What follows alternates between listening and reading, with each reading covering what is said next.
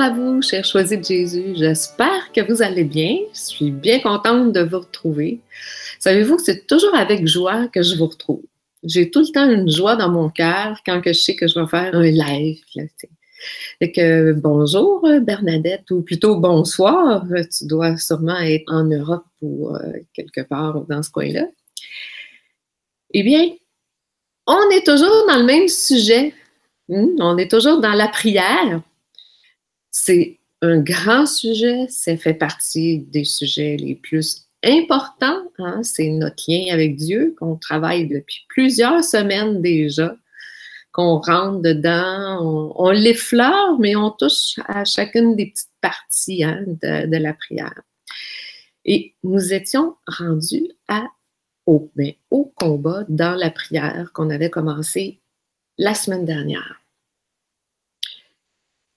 On va demander à l'Esprit Saint qui vienne nous aider un petit peu, hein, parce que c'est pas toujours évident de comprendre qu'est-ce que Dieu veut nous dire, qu'est-ce qu'il veut nous montrer à l'intérieur de nous. on va demander, euh, si vous voulez vous joindre à moi, hein, au nom du Père, du Fils et du Saint-Esprit. Amen. Le Seigneur Jésus, je te demande d'envoyer ton Esprit Saint. Je te demande d'envoyer ton Esprit Saint en nous à travers nous. Je te demande, Esprit Saint, de venir nous dévoiler qu'est-ce que tu veux hein, à, l'intérieur, nous enseigner. Puis même de faire l'unité hein, entre nous. L'unité, c'est bon, hein? c'est bon pour le cœur. Bon, bien, on va commencer. Bonjour à tous, bonjour, bonsoir, hein, Lisby, oh mon Dieu, Cody.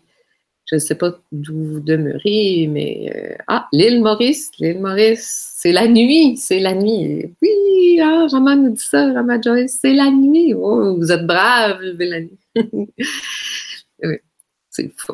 Vivre les systèmes comme ça, c'est génial. on va aller voir nos combats dans la prière, où nous étions rendus dans notre la semaine dernière. On avait vu dans les combats ici euh, que effectivement qu'on avait vu comme quoi que la prière, que c'était un don de la grâce, puis c'était une réponse décidée de notre part. Puis ça nous dit qu'elle suppose toujours un effort. Toujours, toujours, toujours. Fait que ça, c'était important. Puis on nous dit aussi que les grands priants de l'ancienne alliance, avant le Christ, comme la Mère de Dieu et les saints avec lui, nous l'apprennent. Hein? On revoit dans la, dans la Bible comment que eux priaient, les combats qu'ils vivaient, quand ils s'éloignaient, etc., etc. On retrouve ça tout le temps. On a vu aussi qu'on avait euh, les erreurs hein, qu'on faisait. On a vu ça, les erreurs, euh, la semaine dernière. Euh, on a vu la première erreur, c'est que quand on dit apprends-nous à prier, hein, c'est on demande à Dieu de nous aider, puis qu'on oublie souvent que c'est l'Esprit Saint qui nous aide à prier, fait qu'on veut le faire seul. Puis c'est à cause souvent qu'on le fait seul que ça nous décourage. Hmm? On a vu aussi euh, que il faut oser nommer qu'est-ce qui bloque en nous, que c'était important, puis d'être capable de le donner hein, sans le reprendre, c'était important. On a vu aussi comme quoi que on donne souvent la responsabilité à quelqu'un d'autre hein, de prier pour nous sans nous-mêmes le faire. Puis Sainte Thérèse d'Avila nous dit que ben, c'est quand on prie, quand on est en relation avec Dieu, c'est là qu'on reçoit la grâce. C'est à ce moment-là. Hein. Puis on a vu que prier, c'est pas juste prier hein, comme ça, c'est aussi aller au sacrement, à l'église. C'est tout ça, c'est de rester en relation avec Dieu on a vu aussi que souvent on pense que on est trop nerveux ou qu'on manque de concentration et il fallait se rappeler toujours que quand on fait ça, quand on est en prière, hein, c'est qu'on est en train de rencontrer Jésus à ce moment-là. C'est vraiment ça. C'est pour ça que souvent notre esprit s'en va ailleurs. Parce qu'on n'est pas totalement conscient parfois que c'est à Jésus qu'on parle, là. Ou à l'Esprit Saint, ou à Dieu, peu importe. Mais il faut le rendre concret. On s'en va voir les excuses. Hein? Vous en connaissez, des excuses. Hein? On voit Adam, c'est Ève, c'est ci, puis à la fin, c'est la pomme. Hein? On est bon là-dedans, nous, les excuses. La première excuse, souvent qu'on a, OK, c'est qu'on dit, là, ah, bon, c'est, on est dans le combat, rappelez-vous. C'est que j'ai pas un tempérament contemplatif ou mystique, moi, tu sais. Bien, c'est faux. C'est complètement faux. On a tous un tempérament contemplatif plus ou moins à des degrés différents. OK? Fait que Saint Jean de la Croix, il nous dit goûter dans notre cœur et expérimenter dans notre esprit la puissance de la présence divine et la douceur de la gloire céleste. La paix. Hein. C'est ça être contemplatif. Hein, c'est aller goûter Dieu. C'est la première chose. C'est que on est capable. Hein, on est capable. L'autre excuse souvent qu'on se donne, c'est on manque de temps. Hein, on manque de temps. Eh bien, notre manque de temps, on appelle ça les priorités. Les priorités. Où est ma relation avec Dieu? Où aller dans ma priorité? Hein, j'ai combien de temps à consacrer à Dieu? Je n'ai-tu, j'en prends-tu? Qu'est-ce que je fais?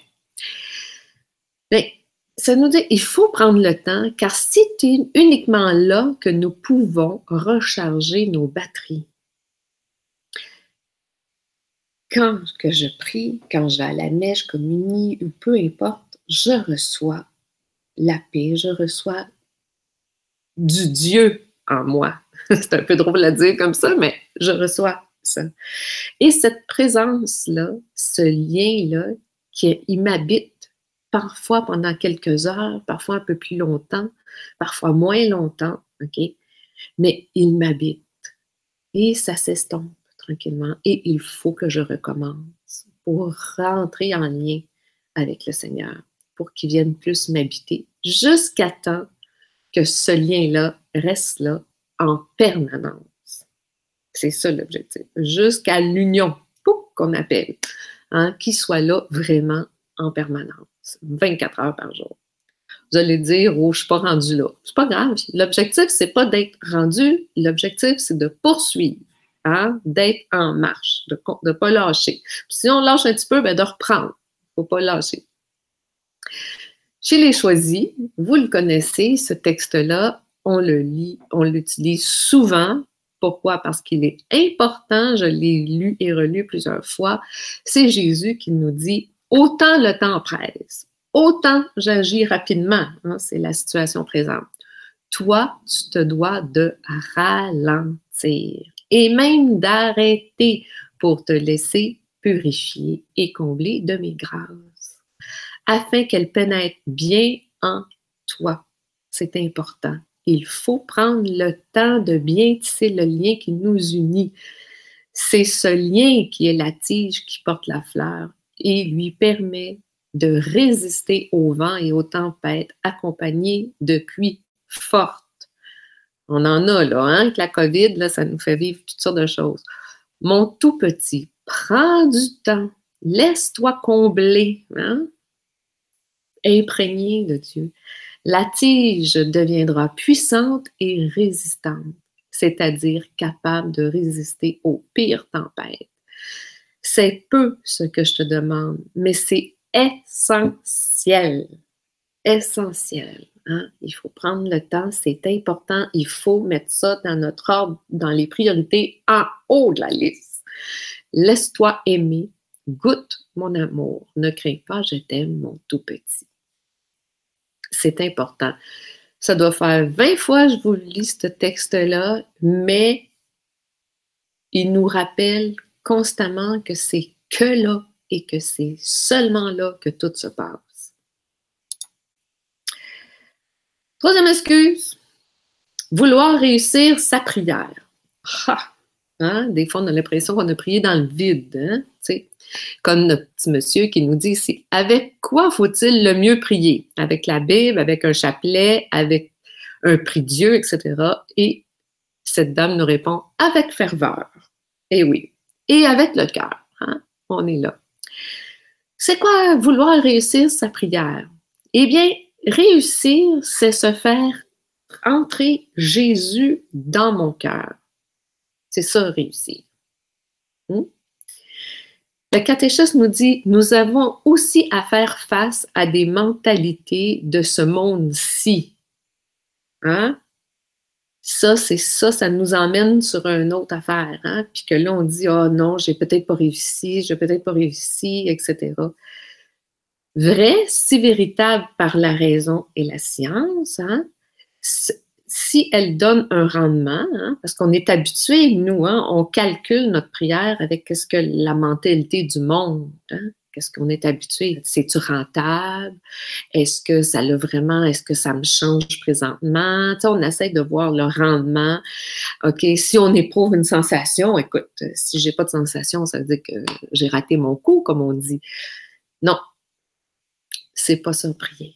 Hein? On dit que, or, prier est un mystère qui déborde de notre conscience et de notre inconscience. Elle est amour de la beauté, gloire du Dieu vivant et vrai. OK, je recommence. Or, prier, nous dit l'Église, c'est un mystère qui déborde de notre conscience et de notre inconscience. Il n'y a pas de rentabilité dans ça. Ce n'est pas du raisonnement, ce n'est pas de la science, ce n'est pas de la sensation. Elle est amour de la beauté et la gloire du Dieu vivant et vrai. Hmm. Que c'est ça réussir sa prière. Hmm. Quatrième excuse qu'on se donne, remettre à demain ben, remettre à demain, c'est un manque de volonté. Il faut demander au bon Dieu qu'il nous aide avec ça. Hein? Viens m'aider parce que là, je manque de volonté, Seigneur. Hein? Saint Augustin nous dit si je veux lever les bras, il lève quasi automatiquement. parce que je l'ai décidé. Hein? On ne réfléchit pas longtemps quand on dit je me lève, je vais aller tel endroit où je fais ça, je me lève, je vais. Hein? Mais c'est la même chose pour la prière. Il faut le faire faut se décider, il faut le faire. En ce qui concerne les choses spirituelles, c'est causé par le péché. Souvent, qu'est-ce qui nous empêche de le faire? C'est un péché qu'on a. C'est soit un manque de liberté parce qu'on est enchaîné par quelque chose qui nous tient beaucoup, beaucoup à cœur. Ça peut être la télé, l'ordinateur, euh, toutes sortes d'activités sociales des fois. Ça peut même être de l'esclavage. On vit une emprise. Hein. On dit que c'est nos chaînes qui font faire ça. Fait qu'il faut demander de l'aide. Cinquième excuse. Quand je prie, je ne rencontre que moi. Bien, Jésus, il nous dit, je l'ai choisi, c'est accueil, mon amour. Hein? Accueille-moi. Hein? C'est ça la prière. Hein? Accueille, accueille. Saint François d'Assise, il disait, axer sa prière sur moi, pour toi, nous, nous axons sur toi, pour moi. Fait que moi, il faut que j'axe ma prière vers Dieu. Moi, pour toi. Puis nous, on veut que ce soit Dieu pour nous. Mais non, Dieu, il est toujours là. Il m'attend. Il est à la porte, il est le mendiant. Il m'attend. C'est moi qui y va. Puis là, j'accueille. Je me laisse aimer. Hein? C'est ça qu'elle nous dit Je l'ai choisi. Laisse-toi aimer. Laisse-moi prendre soin de toi. Hein? Ça dit, je n'arrive pas à faire le vide. Il ne faut pas faire le vide, c'est le contraire. Il faut faire le plein. Il faut que je fasse le plein, moi. Il ne faut pas que je me vide, il faut que je me remplisse. Nous pouvons nourrir notre prière avec sa parole aussi. Hein? Si jamais vous êtes vraiment perturbé, puis que vous n'arrivez pas, vous pouvez prendre la parole puis la lire. Les choisir, lire un volume aussi. Hein? Vous pouvez faire ça. Mais c'est, encore une fois, une rencontre de moi à Dieu. Parce qu'il m'attend. On va le voir. Là, un autre combat qu'on a souvent, c'est les peurs, nos peurs. La première peur, souvent qu'on a, puis savez-vous que celle-là, c'est une aussi que les gens vivent quand ils sont proches de la mort. Hein? C'est ma rencontre avec Dieu. Parce que quand je prie, quand je suis, je me mets en relation, hein, que je vais à la messe, je vais au sacrement du pardon, de réconciliation, quand euh, tout ce que ça peut m'apporter, les sacrements à l'adoration. Ma rencontre avec Dieu, parfois, peut me m'interpeller. Parfois, je peux avoir honte, je peux pas être trop fière, je veux pas qu'il être trop. Je veux pas trop me voir. Hein. Des fois, on sait que c'est lui qui est en train de décider comment que cette rencontre-là va se faire. Hein. Que c'est lui qui décide et que je suis dépendant de ce qu'il veut. Oh, ça, parfois, c'est plus difficile pour nous d'accueillir. Que tout va se passer selon comment lui veut et non comment moi je veux. Ça aussi, c'est une part. Mais dites-vous tout le temps que Dieu, la raison, qu'est-ce qu'il fait, c'est toujours pour notre bien. Il m'aime. Il va toujours emmener la situation pour moi. Il faut la confiance. des fois, il y en a qui ont de se laisser regarder par Dieu, d'accepter d'être à nu devant Dieu. Hmm? Ça, c'est souvent celui-là qu'on vit à, l'heure de la rencontre de la mort. Bien, c'est lui qui nous a fait. Il faut se rappeler de ça. Il connaît déjà les moindres détails. Puis il me dit déjà qu'il m'aime malgré tout ça. Puis qu'il m'aime tellement qu'il est mort pour moi, ou que Dieu a donné son Fils pour moi, ou même qu'il me donne l'Esprit Saint pour m'aider à traverser tout ça et les sacrements aussi en même temps. C'est qu'il me voit déjà.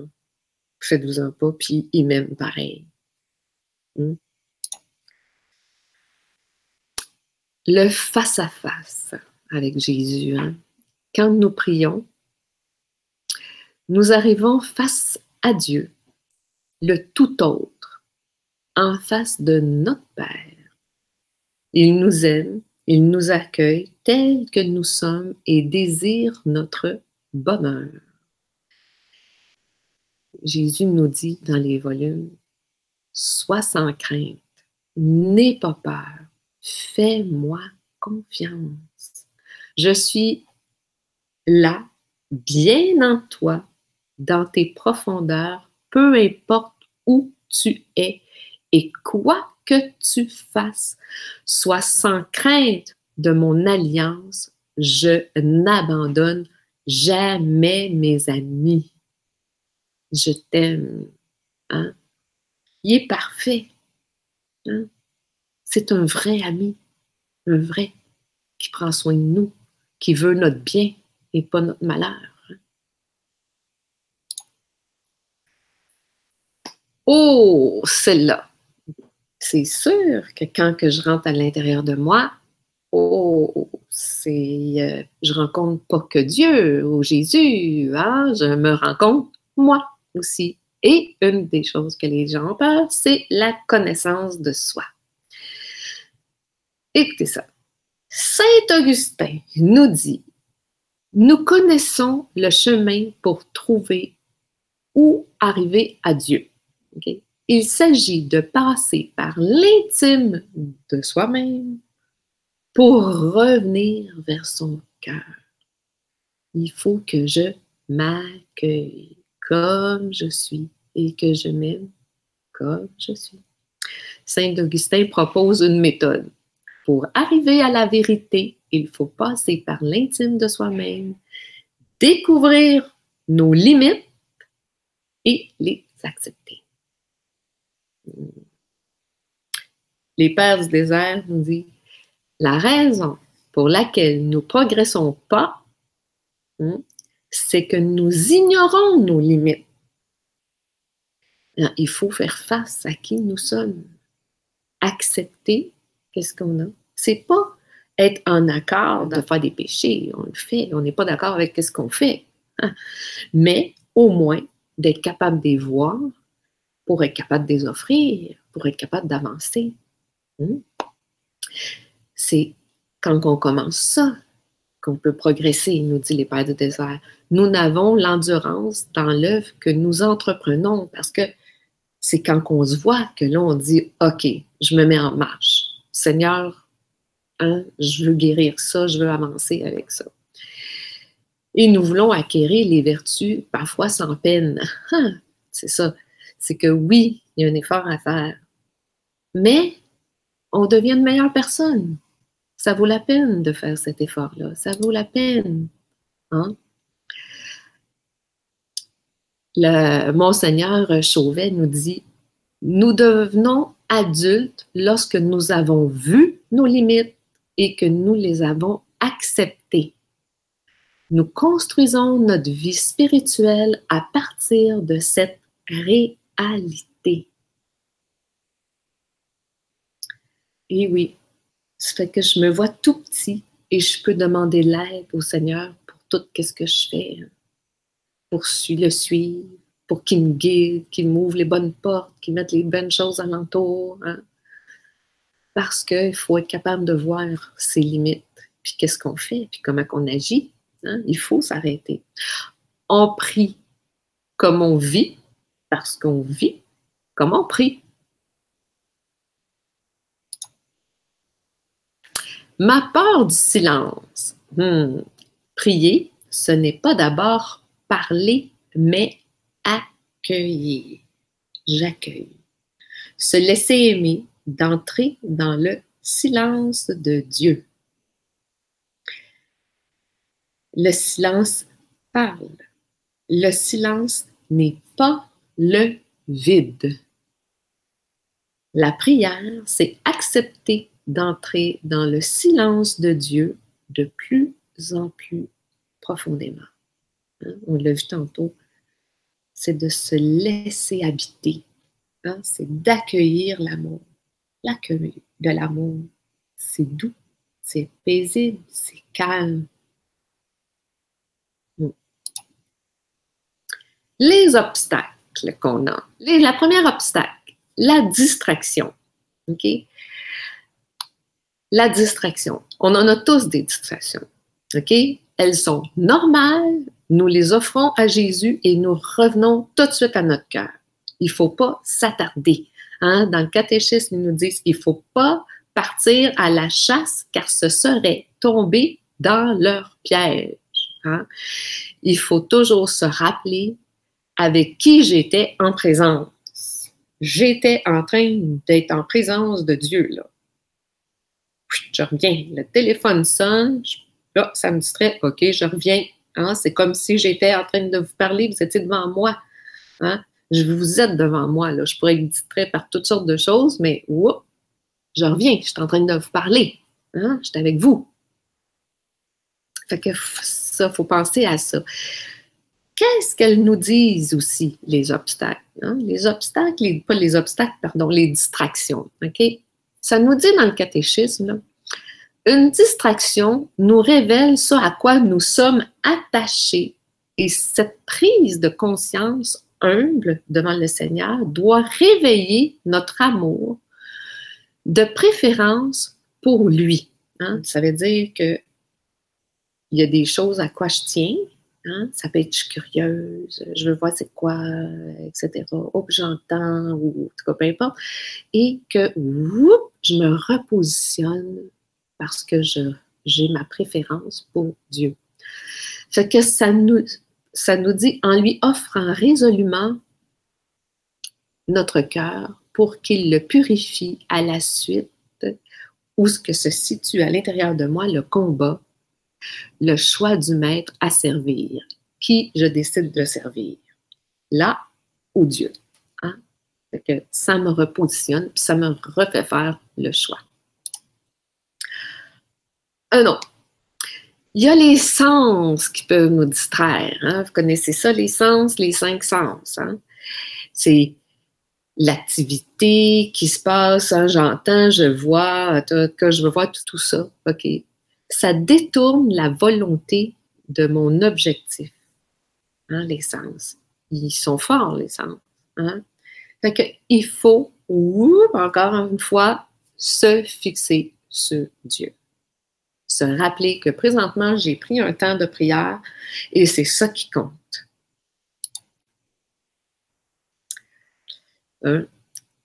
Jésus nous dit dans les volumes, Concernant ta préoccupation de savoir et de comprendre ce qui se passe sur la planète Terre en ce moment, elle s'avère très secondaire en rapport avec ce qui se passe en toi aujourd'hui.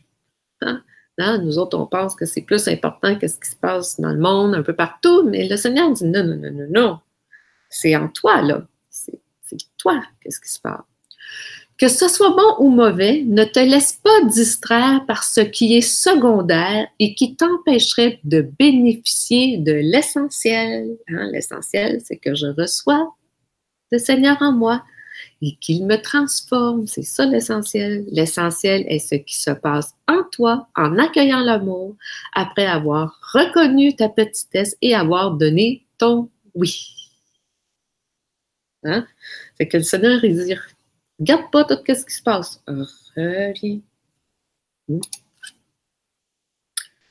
Alors, les demandes, hein, des obstacles, ma demande, hein, c'est que la petite fille a dit à son père, quand Dieu n'est pas là pour entendre ma prière, tu crois qu'il consulte son répondeur, dit la petite fille. Hein?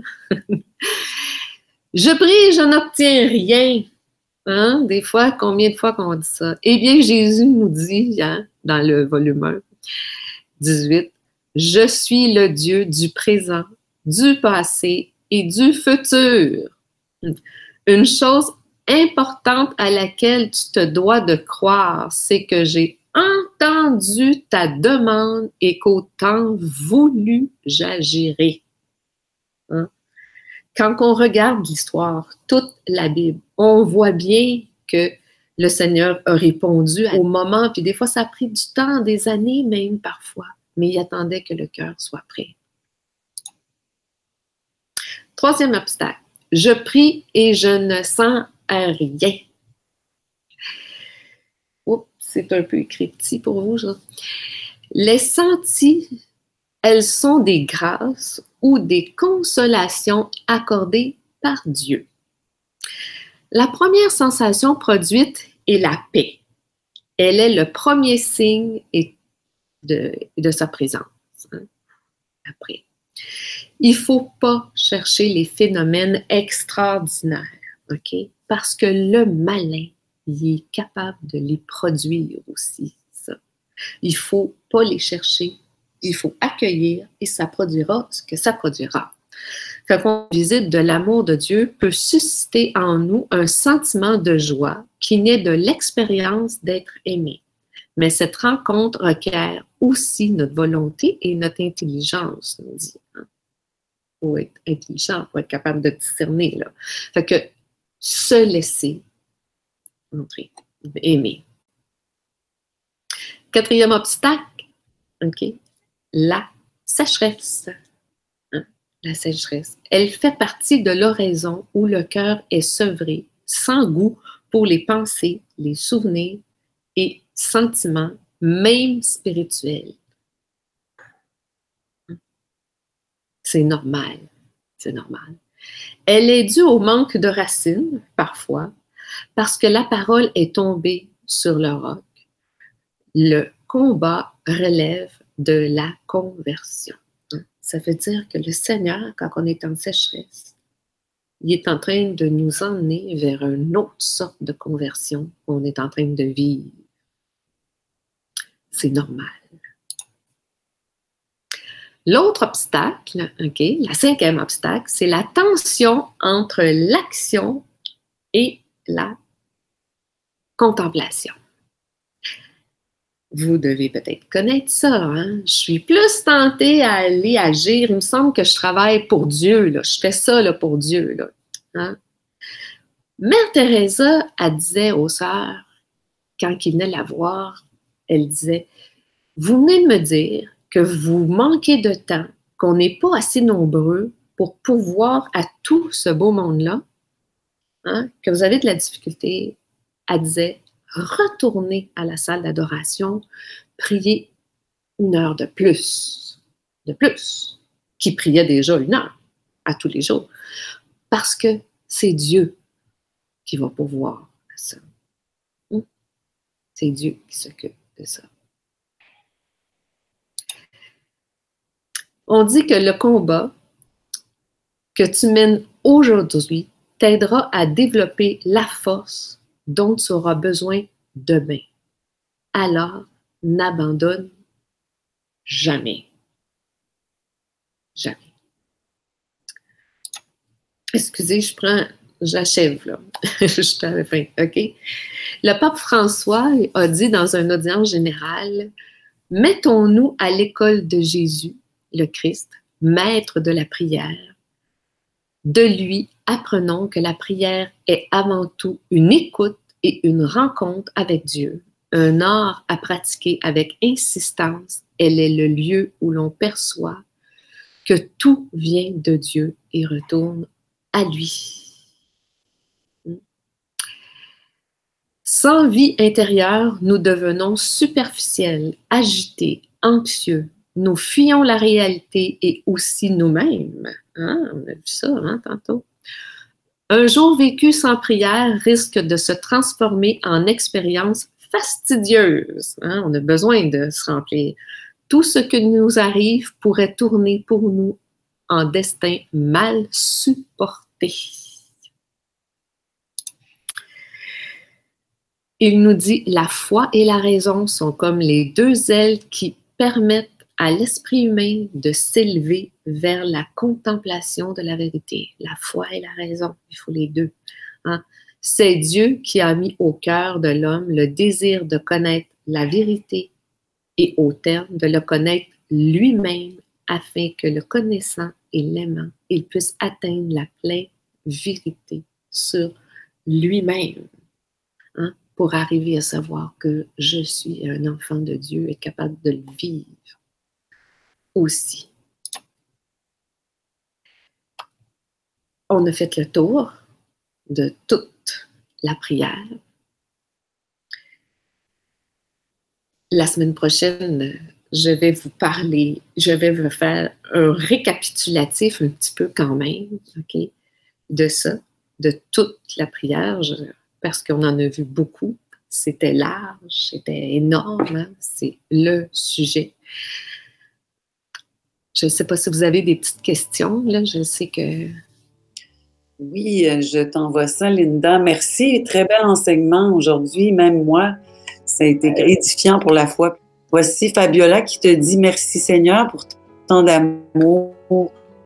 Honneur, gloire et louange à toi, Seigneur mon Dieu, Père, Fils, Esprit Saint. Merci Linda pour l'enseignement de la prière, notre relation avec notre Seigneur. Bon après-midi, bonne semaine dans l'amour. Merci. Ça fait plaisir. Ça me fait plaisir. Ça me fait du bien à moi aussi. Hein, vous savez, j'enseigne tout ça, mais moi non plus, là, je suis pas rendue hein, une sainte. Fait que moi aussi, ça me fait du bien dans mon cœur de me rappeler euh, tout ça, de me remémorer. Hein. On n'aura jamais fini de cheminer. Oui. Il y a Marie.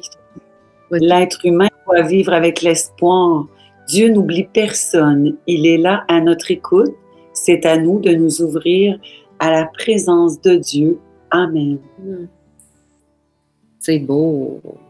Oui, c'est à nous. C'est pas facile. Hein? C'est pas facile de s'arrêter et de, l'accueillir. Mais hein, on, est, on est là, nous, toute l'équipe, pour vous aider un peu à avancer. Hein? Avec les choisis nous aident, euh, hein, avec tous les volumes qu'on a. Le Seigneur vient à notre secours. On en a besoin. Fait qu'on se revoit la semaine prochaine. Hein? Puis on se laisse avec notre belle prière qui nous a laissé Jésus. parce que l'amour m'aime, je deviens l'amour. Parce que l'amour m'aime, nous devenons l'amour, hein? parce que l'amour nous aime. Puis parce que l'amour t'aime, toi aussi, tu deviens l'amour. À la semaine prochaine.